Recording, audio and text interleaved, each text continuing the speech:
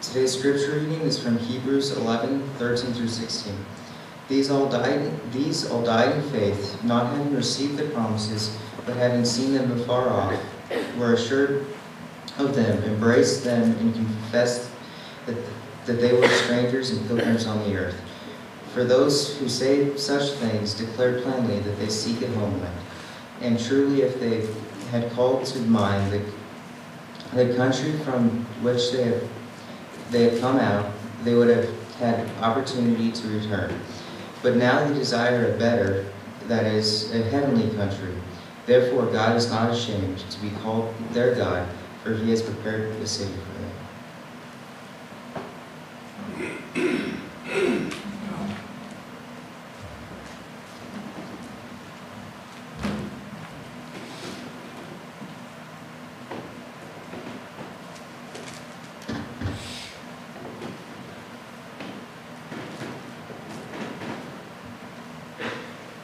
Can you guys hear me through this one all right? Yeah. Okay. I'm going to kind of be moving around a little bit. I'm going to start up here like normal, and then I'm going to move down there at the end. Can everybody see that board? Okay.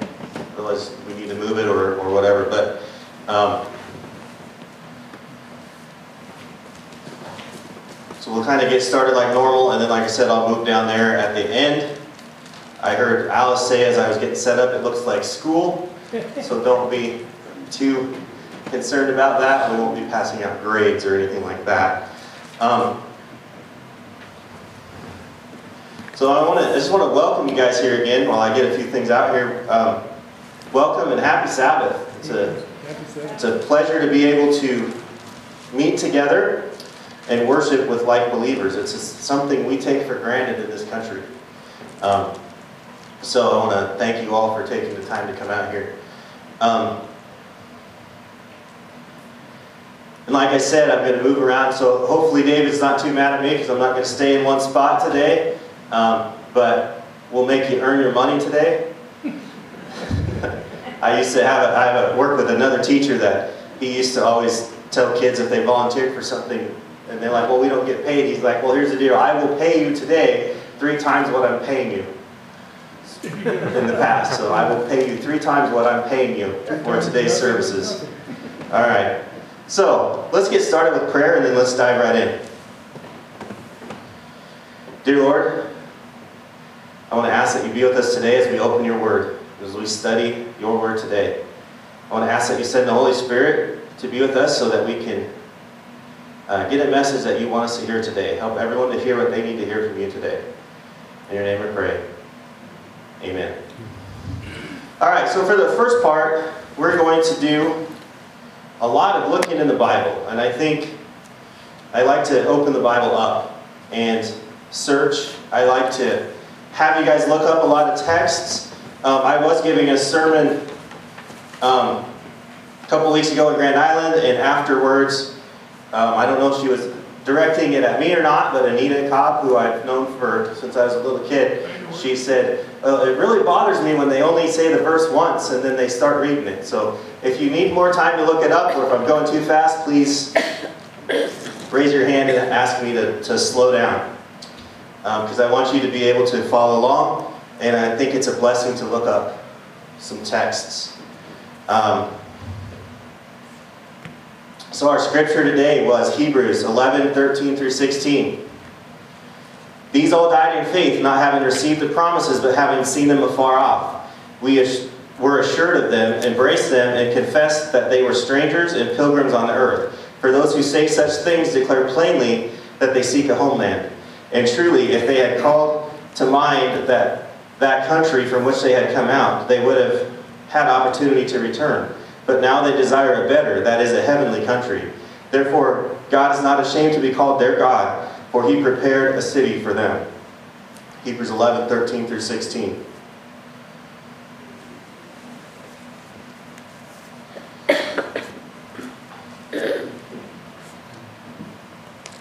So, what do you guys think of when you think of home? What are some things that you think of, or what comes to mind when you hear the word home? Safety. Safety, good. Anybody else? Corn. Corn, okay. So land, that, that was on my list, land. Good food. Food, Love. love, good. Peace and quiet. Positive conversation. What was that one? Positive conversation. Positive conversation, I heard Alice say peace and quiet, Mhm. okay. Security, Food, security, good. Sometimes though, Alice, when you have the little kids, it's not always peace and quiet, is it? No, but I don't have them at my house. So, good, those are some good things. Um, I came up with houses, land, family, people. Love is a good one, I think I heard somebody say. Those are things we think of when we think of home.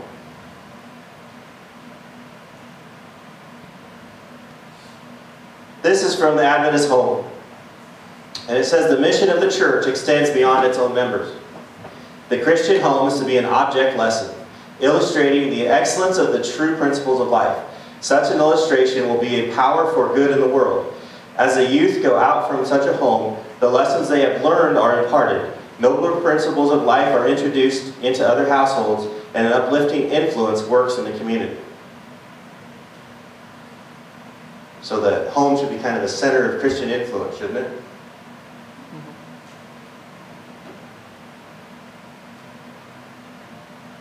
So let's look at what some of the early homes were like in the Bible. So let's look at Hebrews 11 9 and see what, what their homes were like.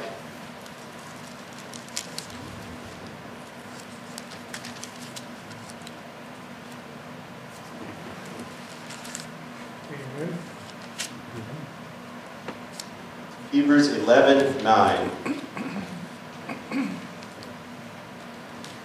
And it says, By faith he dwelt in the land of promises as in a foreign country, dwelling in tents with Isaac and Jacob, the heirs with him of the same promise. Then let's flip back to Genesis 26 3. Genesis 26 3.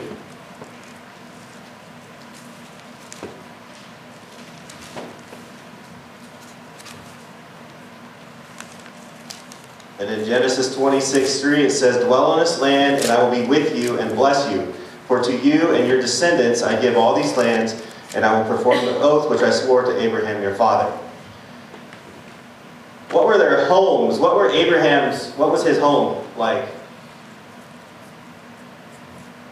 Like the structure. A tent. A tent. They lived in tents, right?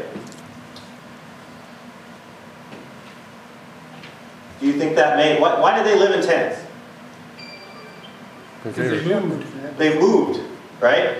They moved around. A lot of nomadic tribes moved too. Um, a lot of early nomadic tribes. We talk about that in world history. We're talking about how people had to follow their food source in some cases. If you're herding, Grazing. you have to follow grazing. If you're hunting, you have to follow the food. If the food moves, you have to move too. Um, so it's a little more of a different lifestyle. So their homes were more of a temporary structure that could be moved, right? Another very important part of their home that we might not think of as part of it, but let's look at it. Genesis 12 8. So we're going to stay in Genesis here for a little bit. Genesis 12 8. Amen. And it says he moved from there to the mountains east of Bethel, and he pitched his tent with Bethel on the west, with Bethel on the west and Ai in the east. There he built an altar to the Lord and called on the name of the Lord. Then let's just flip over to Genesis 13 4. Genesis 13 4. To the place to the place of the altar which he had made there at first, and there Abraham, Abram called on the name of the Lord. Let's look at Genesis 33 20.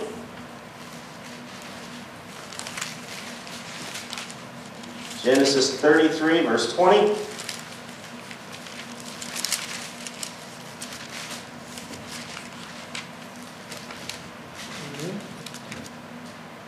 All right, verse 20 it says, There he erected an altar there and called, then he erected an altar there and called it El Elohe Israel. And then let's look at Genesis 35, 1 through 3.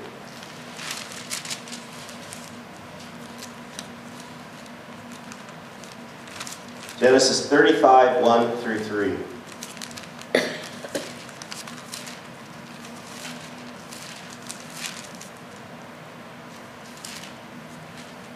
Then God said to Jacob, Arise, go up to Bethel and dwell there, and make an altar there to God, who appeared to you when you fled from the face of Esau your brother. And Jacob said to his household and to all who were with him, Put away the foreign gods that are among you, purify yourselves, and change your garments. Then let us arise and go up to Bethel, and I will make an altar there to God, who answered me in the day of, of my distress, and has been with me in the way which I have gone. What's the common theme there in all those verses? Altar. Altar. So yeah, they're, they're, they lived in tents, they moved a lot. The structure was temporary, but the very first thing they did when they stopped somewhere was to build an altar to worship.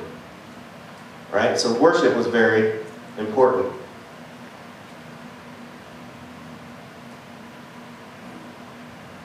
So, our homes here are temporary too, right?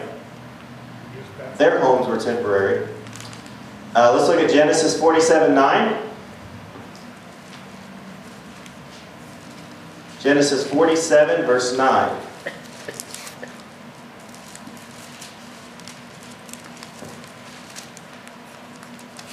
Genesis 47, verse 9. And Jacob said to Pharaoh, The days of the years of my pilgrimage are 130 years. Few and evil have been the days of the years of my life, and they have not attained to the days of the years of the life of my fathers in the days of their pilgrimage. It's interesting that they viewed their time on earth as a pilgrimage. What is a pilgrimage? Going someplace. Like uh, Speak up, Alice. What? When you're going someplace, that's important, that's, Okay, you're going somewhere important. or it could be going home. Okay.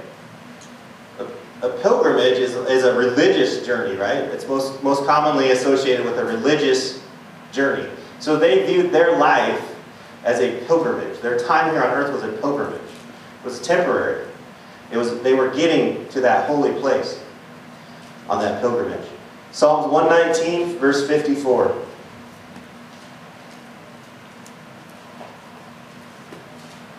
Psalms 119, verse 54.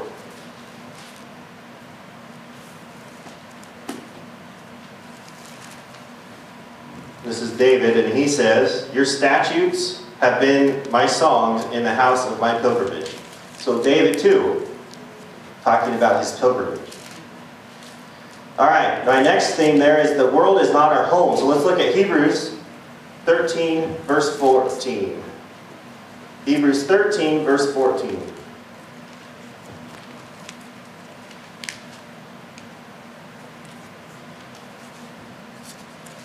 How many of you have heard that song that this world is not my home, I'm just a passing through? That kind of rolled through my head as I was thinking about of this.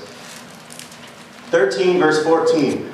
For we have no continuing city, but we seek the one to come. First Chronicles 20, or actually let's 13 to 16, that's our scripture. Let's do 1 Chronicles 29, 15. 1 Chronicles 29, 15.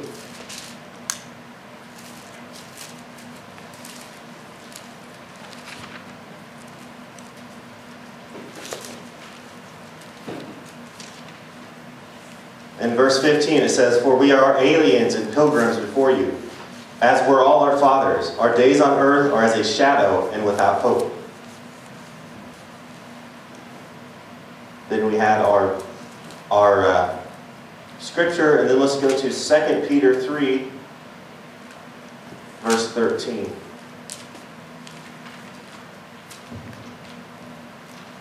Second Peter 3:13.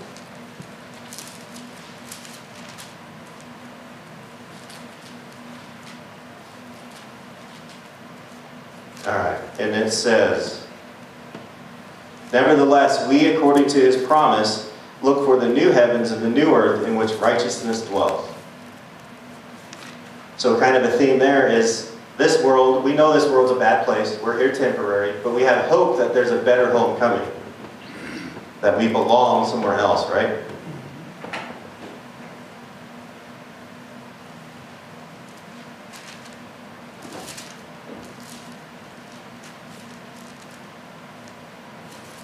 So now we're going to kind of shift gears and look at the things that should be found in a Christian home, things we should strive for. Now, don't get me wrong.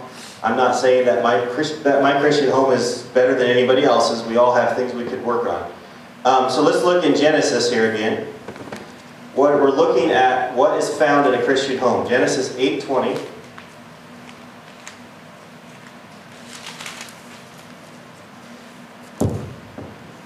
Genesis 8.20.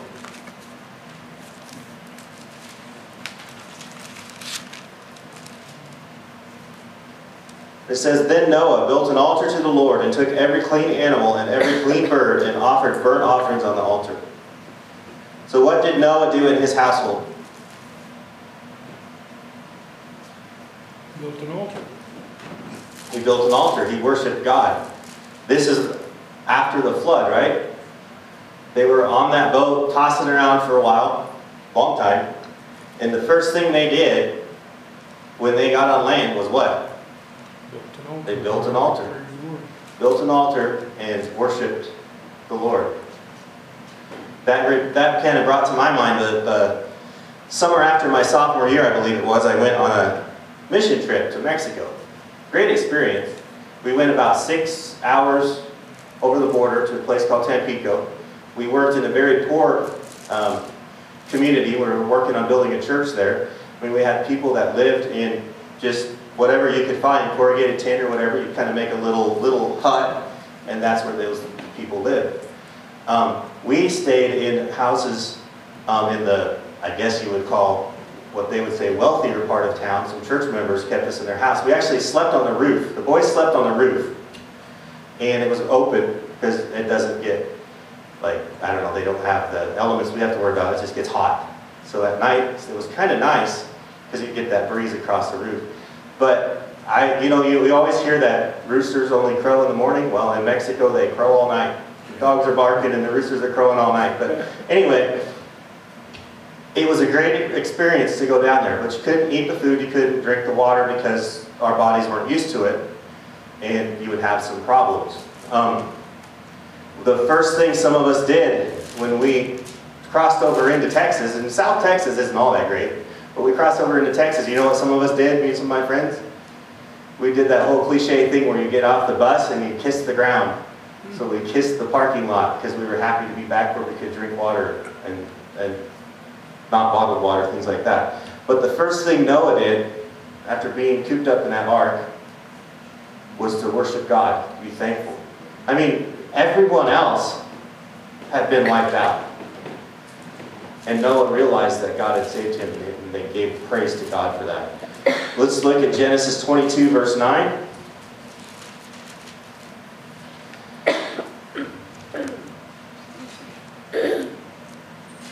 Genesis 22, verse 9. And they came to the place of which God had told them, and Abraham built an altar there and placed the wood in order. And he bound, his, bound Isaac his son and laid him on the altar upon the wood. Still within their family, they're worshiping God. And there's a lot to that story. You could preach a whole sermon on that story alone, on how that family was so dedicated to even go through the motions of starting to do something like that, of sacrificing their son that had been a promise of God. But worship was found in that family. All right, let's look at self surrender. Let's look at Genesis 26 25. Genesis 26, verse 25.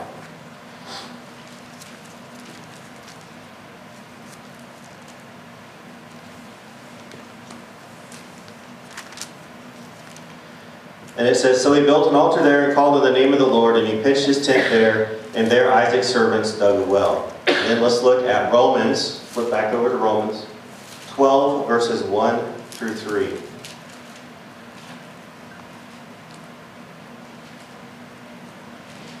Romans 12, verses 1 through 3.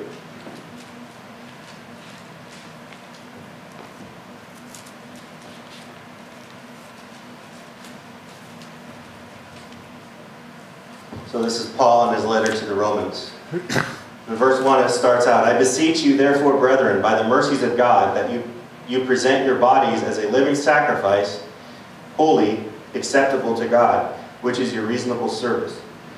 And do not be conformed to this world, but be transformed by the renewing of your mind, that you may prove what is, what is that good and acceptable and perfect will of God. For I say, through the grace given to me, to everyone who is among you, not to think of himself more highly than he ought to think, but to think soberly, as God dealt to each one a measure of faith.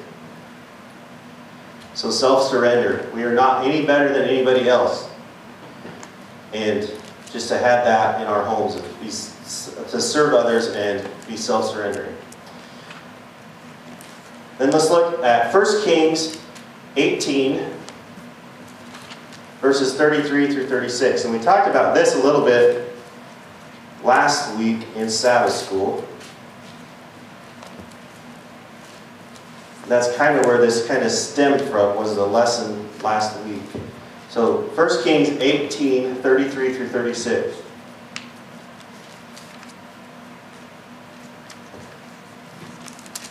In 33 it says, And he put wood in order, cut the bull in pieces and laid it on the wood, and said, Fill four water pots with water and pour it on the burnt sacrifice and on the wood.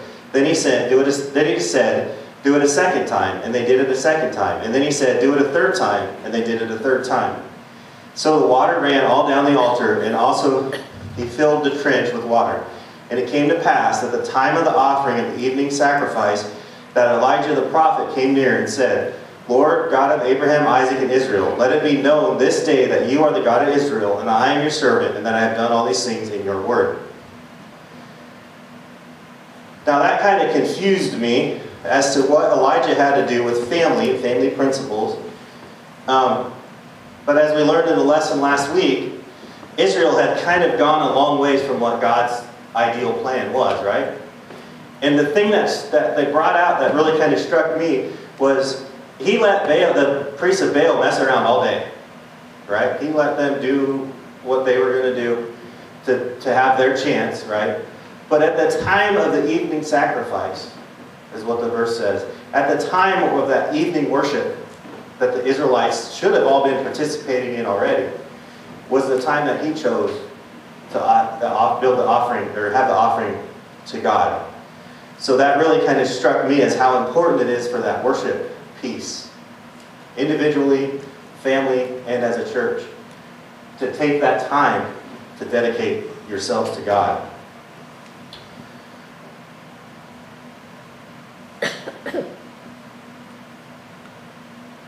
So worship and study were important. Biblical Christians, Bible Christians know we all we are all but pilgrims and strangers in this present world.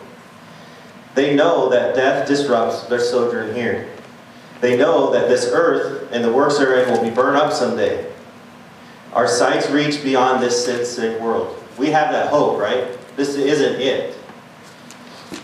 No Christian home can be complete without these essential things. The first one is worship and study, a specific meeting place for a family to study the Word of God and pray. If we look at Matthew 18 20, Matthew 18, verse 20.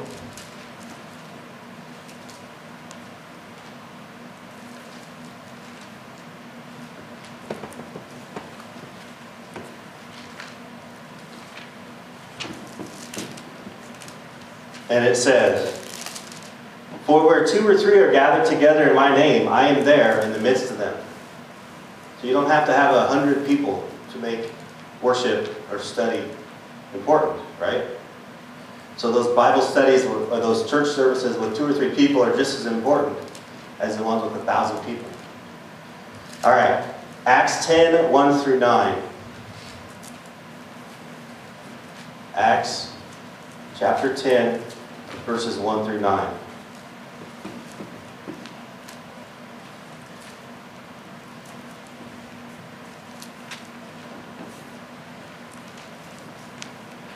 In verse 1 it starts, says, There was a certain man in Caesarea called Cornelius, a centurion of what was called the Italian regiment, a a devout man and one who feared God with all his household, who gave alms generously to the people and prayed to God always. About the ninth hour of the day, he saw clearly in a vision an angel of God coming and saying to him, Cornelius. And when he observed him, he was afraid and said, What is it, Lord? So he had said to him, Your prayers and your alms have come up to, for a memorial before God. Now send a man to Joppa and send for Simon, whose surname is Peter. He is lodging with Simon, a tanner, whose, by the house, whose house is by the sea. He will tell you what you must do. Then an angel who spoke to him had departed. Cornelius called two of his household servants and a devout soldier from among those who waited on him continually.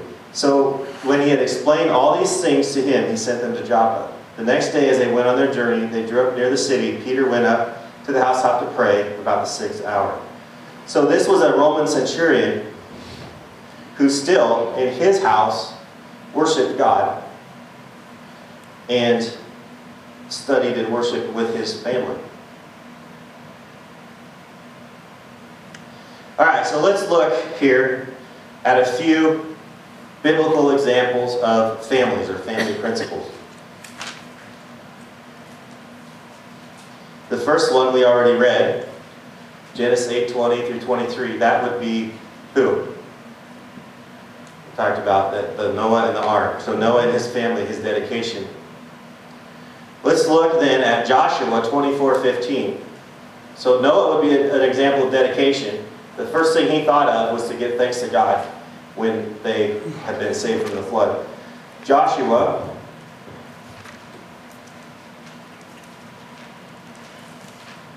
twenty-four fifteen.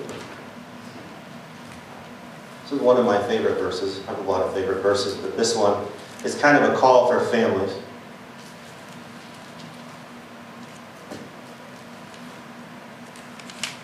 And it came at kind of the crossroads of, of Israel. But let's Joshua 24 15. It says, And if it seems evil to you to serve the Lord, choose for yourselves this day whom you will serve, whether the gods which your fathers served that were on the other side of the river, or the gods of the Amorites in whose land you dwell. But as for me and my house, we will serve the Lord. And if you look through the Old Testament, you look at, through Israel from the time they were in Egypt on up through their whole journey, they always kept kind of toying with those idols and those other gods, the gods of the people around them, and on through Israel's history. And this was kind of a call of Joshua to say, hey, you have a choice you have to make. But as for me and my family, we're going to choose the Lord, but you've got to make up your mind what you're going to do. And I think in these days, we each have a choice we have to make too. You can't ride the fence. You can't serve two masters. All right, then let's look at what else a biblical example is on Acts 16, verse 34. Acts 16, verse 34.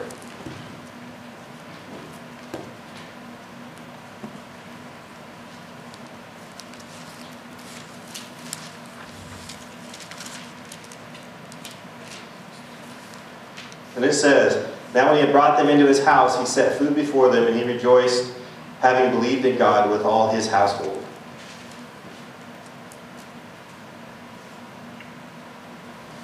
Who was this? I should have backed it up a little bit, but who is what context is this in? Who is this person they talked about having served, believed in God with all of his household? The jailer. The jailer, right? So he made that choice, and then he professed to believe, right? He set food before them and rejoiced, having believed in God with all of his household. So we have to believe in something, right? You have to stand for something, you have to believe in something. You have to make that choice. So, one of the activities that was suggested in last week's Sabbath school lesson about families was to do this little activity, and I'd like to have you guys help me with this. This will be a little different of a part. Um, Jake, can you go ahead and just read that? We don't need that anymore.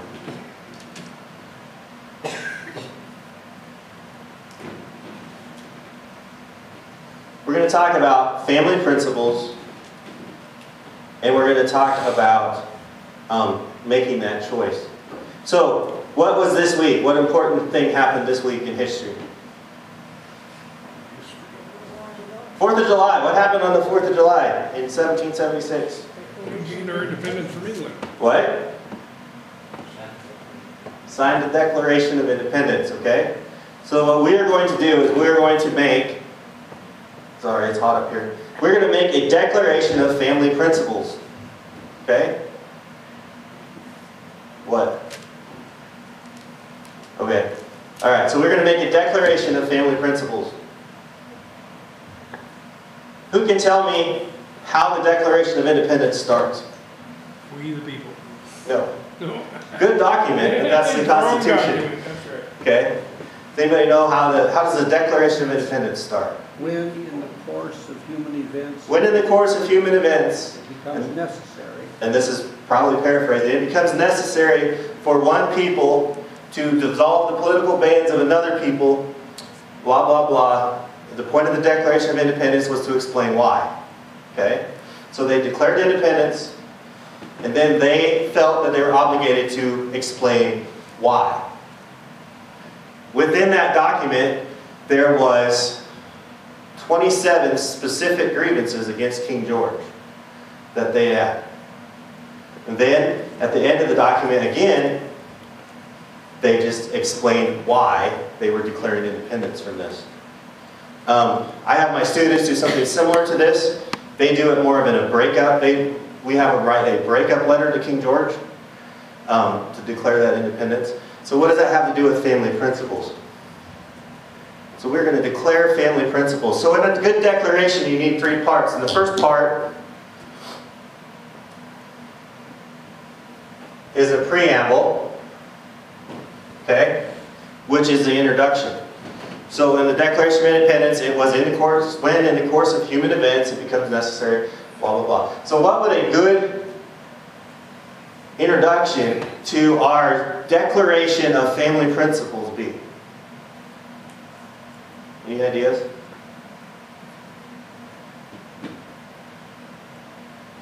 This is the part where we just throw stuff out there.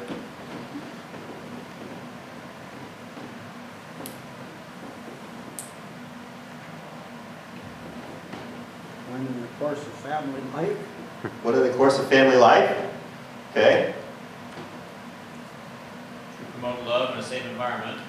okay. And we're going to get to the, then we'll do that. Let's do, so when in the course of family life,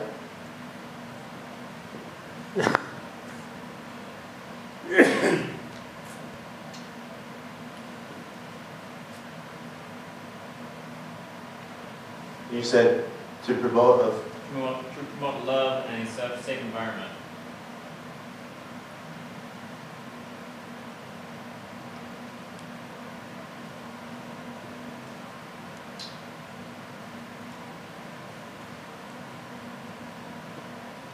okay. When in the, and then how are we going to finish that off for just the introduction part? bind the family together with God to To serve, to serve God. So when in the course of family events to promote love and a safe environment, it becomes necessary.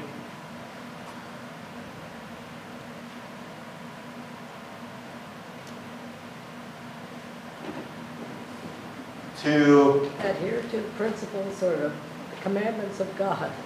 adhere to the commandments to the family of God. Okay? That's good. And we're not gonna, is there, there any English teachers in here? I teach social studies, so that's my excuse. Um, and apologize for the handwriting, but I just thought I'd get kind of moving a little bit instead of me just talking up there. Thought about typing it on the screen, but sometimes I just like it on here better. And I wanted a little bit of interaction, so. Um, my handwriting is terrible. I tell my students that I write in code. Sometimes the code is so good I can't even read it. But what's the next part? What was the next part of the Declaration of Independence? This is where we we have to be Constitution. Oh, We have to be different document. It came a lot later after all the Article of Confederation mess. All right. We need to declare our principles. We need to be specific in the principles that we're declaring. Remember that the colonists had 27 specific grievances with King George. I'm not going to ask you for 27, but I want some biblical family principles. What are some biblical family principles? We talked a little bit about this with what we think of as at a home. I'm going to put love up here. That's a biblical family principle, right?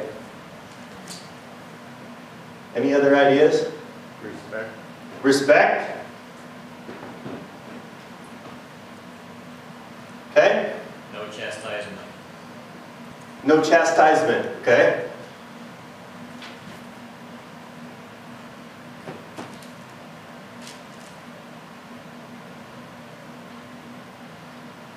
Other principles, family. Eat the proper food. Okay, health, diet.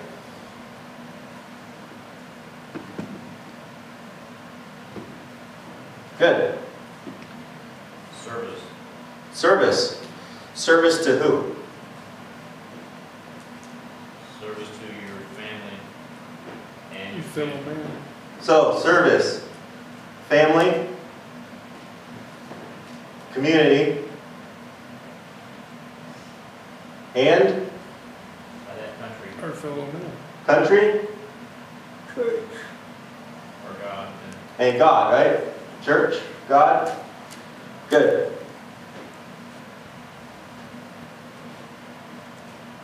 Any other biblical family principles? Generosity. Generosity,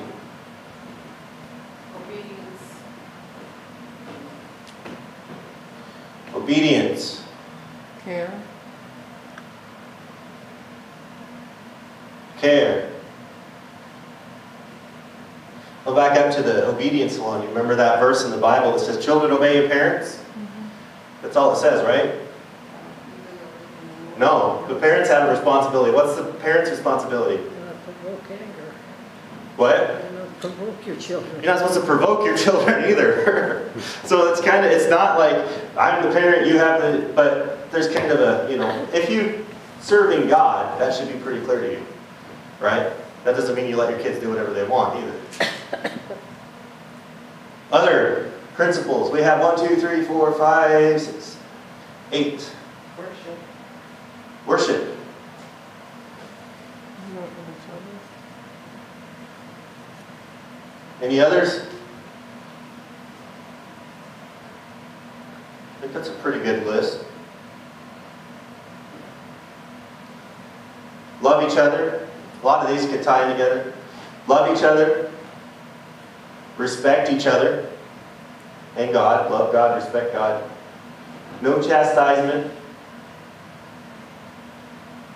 Health and diet. Live a life as a family of service. Serve your family, serve your community, your country, serve God. Be generous to your neighbors, be generous to each other. Yes? Safety, good. That's a very good one. Safety and protection. I think the other So- thing should be time together. Okay, time together. Family time.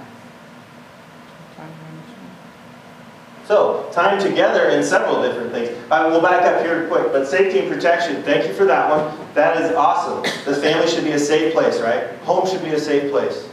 We should protect the home from those influences of the world. How many of us live in a perfect community? Okay? We have to protect the family from sin, from that outside influence.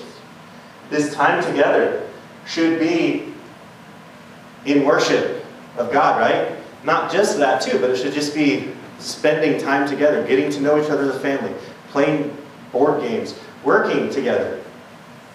I grew up in a family where work was very important, and it is. I'm glad that I learned those skills. We worked together as a family. Okay? So these are very important. And what about long suffering? Long suffering. That means you suffer for a long time, right? No. Long suffering and patience, right? That is very important, and that's hard. As a parent, that's hard. I mean, my kids are here, but so I won't try to embarrass anybody, but that can be a very hard thing sometimes to have that patience. But we have to look at who has who's the best example of patience. Jesus. God, right? Of the patience that God has had with the human race is amazing. Okay? And that patience and that long suffering that comes out of love and respect. Right? And believe it or not, protection, safety. Okay. Well, I think we have a pretty good list. Anybody missing anything? I mean, there's we could go on, we could list a lot, but I think this is a very good list. So if we were going to write this all out, we would write our introduction. When in the course of family life, to promote love in a safe environment, it becomes necessary to adhere to the commandments of God. And then we would lay out these principles that we've chosen. And then at the end, we would explain why we think that's important. So, who can tell me why it's important to adhere to these principles as families, as individuals, and as a church? Life a lot easier. Okay, it makes life a lot easier, right? Now, we do know this is a temporary life. We do know that there's better things in store. But this is kind of God's plan to help us as families to, like Alice said, make life a little bit easier. That doesn't mean you're not going to have problems. Doesn't mean you're not going to have challenges. But it's just that, that living God's plan. The Ten Commandments existed since when? To the beginning of time. Since the creation, since the beginning of time. And it's pretty clear that the Israelites, even before God gave them on the stone, knew the principles, the ten principles that God laid out for humans. Okay? So, why is that important? To make life easier, to give us a guide, to give us support. Family can be a very strong support system, right? Everyone at some point in their life is going to need support of some kind, right?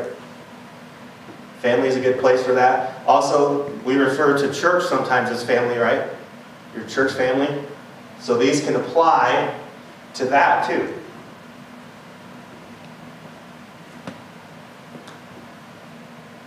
So I think we need to all leave here today with just kind of a prayer in our hearts to look at our lives and our families and our church and see how we can apply some of these principles, how we can pray for help in some of these areas so that we can declare to the rest of the world hey, we're done with sin. We want to live a life of service to God, a life of love with God. And this is how we're going to do it.